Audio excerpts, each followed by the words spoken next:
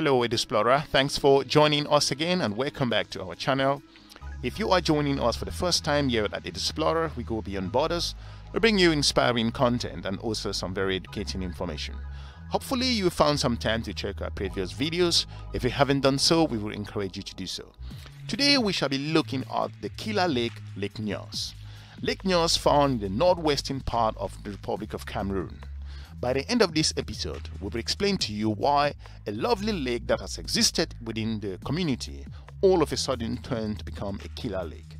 We will also explain to you what actually happened and as a reason why this has been a news that never reached the world beyond. It has also baffled the best and scientists and geologists on actually what happened. So in this episode, we will be able to explain to you, to present to you a kind of a picture on what actually happened. Without any delay, we shall just go straight into it. On August 20, 21st, 1986, one of the strangest and most mysterious natural disasters in history took place at Lake Nyos.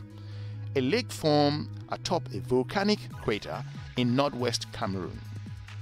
It was actually a normal day, as on that particular day was a market day. In the village of Lower Nyos, and that evening most people went to bed early. The next morning, what they saw baffled them completely. Without any warning, the Lake Nyos released hundreds of thousands of tons of toxic carbon dioxide. Estimates range from over 300,000 to over a million, and this silent death cloud spread out over the countryside at nearly 100 kilometers. This actually suffocated and estimated just over 1,700 uh, human beings at the time, said people, and more than 3,500 livestock were perished. It was interesting to how people actually went to bed in the previous night and woke up in the morning were very shocked as to what they found. In this episode, we'll be able to explain to you in details as a result of these unexplained circumstances what led the people of Nyos to go down on their knees. If you are new to Edusplorer, we will encourage you to subscribe and share our videos to your different network. The question actually many are asking is what actually happened in Nyos on that particular fateful day. If you look at the effect as a result, the devastation at it was swift actually, and with the severity of if you can align that to a biblical plague, it felt locals and wildlife alike by starving the air of oxygen within uh, just over 25 kilometers within that particular radius. Many people from the village of Cha, Nyos, and also Suba were silently obfuscated in, the, in their own sleep. Some were found with blood around their mouth and also coming out from their noses.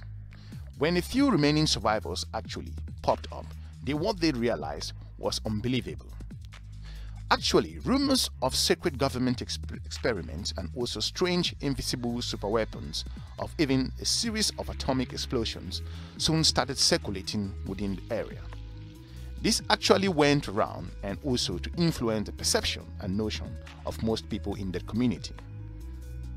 Unbelievably, what happened was, only later did the real killer was identified as the strange and rare volcanic phenomenon that is associated with the nearby lake called Lake Nyos. For those who survived the incident were actually baffled with regards to the experiences that they, come, they came across. Looking at this, they could even explain things like so difficult for them to open their mouth and the amount of smell that they got in a very terrible way came from that particular area. Others could see family members dying and also struggle to build. It also affected a whole lot of animals and different parts, and some people could explain that even flies were dead. It was interesting to note that uh, the most gut-wrenching natural event it was a Lake Nyos. It recorded in history could not be explained until today. And scientists even found this to be amazing that a lovely lake in a particular region could all of a sudden turn deadly. It was one of the most baffled disasters scientists have ever investigated.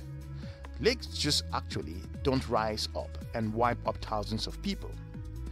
With regards to our research, we found out that this is so interesting that the build up of this particular lake has been for many years in the making.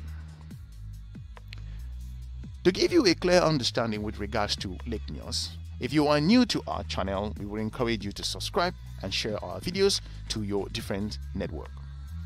Lake Nyos is located along the Cameroon volcanic line. Since over 1956, with regards to the long area chain of volcanoes and volcanic craters, lakes extended from the Gulf of Guinea into Cameroon and Nigeria. The origin of the CVL also is still not completely understood. It is possible that during the breakup of Africa from South America and 150 million years ago, a third rift started to develop but failed to become the organic or an organic basin like the Atlantic Ocean. Today, the only active volcano of the CVL is Mount Cameroon.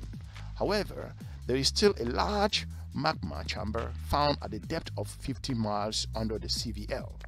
From this magma, chamber large quantities of gases are released. Following faults, the gases flow into the crater lakes, of course, that actually maar a collapse of the volcanic crater filled by water and also called the geologists. This effect would actually turn to become deadly in the years ahead.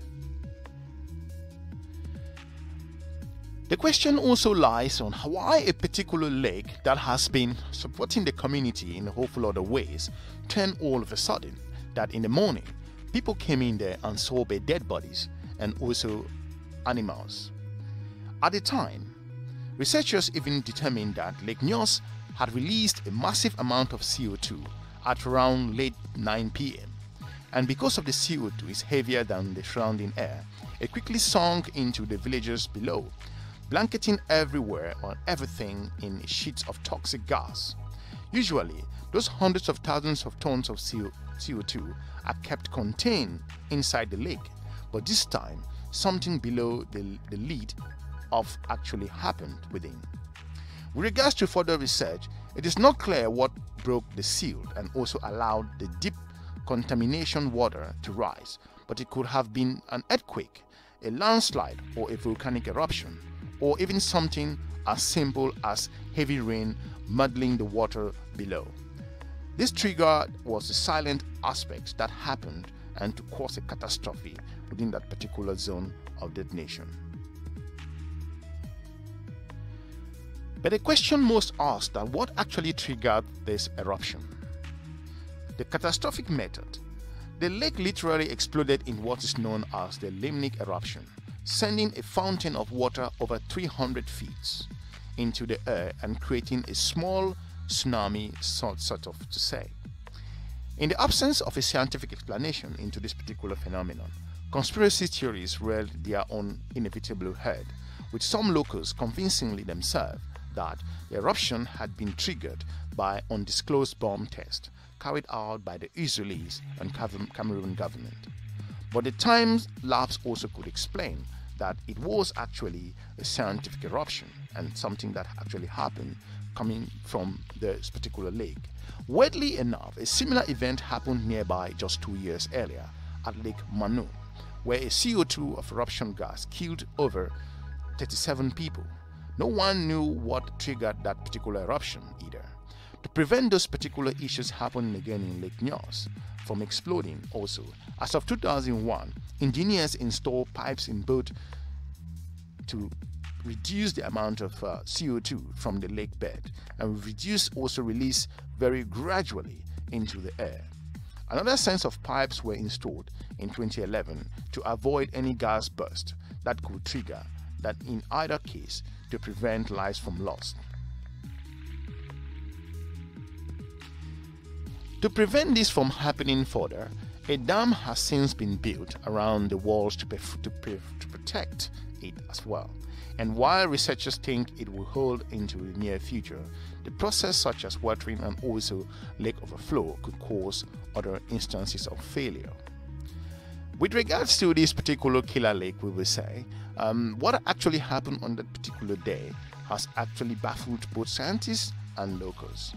With regards to different explanations and different theories, we are looking as to the reason why uh, a lovely lake in a community turned deadly on its people. The volcanic gases are really terrible and when mixed also with carbon dioxide coming from the ground become even more concentrated at the bottom of the lake. This is interesting to find that most lakes that are within this particular area uh, should need to be looked upon again. In this episode, we've tried to explain to you, which is not pretty clear, on what actually happened on this particular Lake Nyos. We shall also be looking into our further investigation and to go further to explain to you what are the scientific implications with regards to this particular location in the future. If you are new to Edusplorer, we want to thank you for watching. We encourage you to subscribe and share our videos to your different network. For now, Thanks for watching again. We're looking forward to meeting you in our next episode. Bye bye.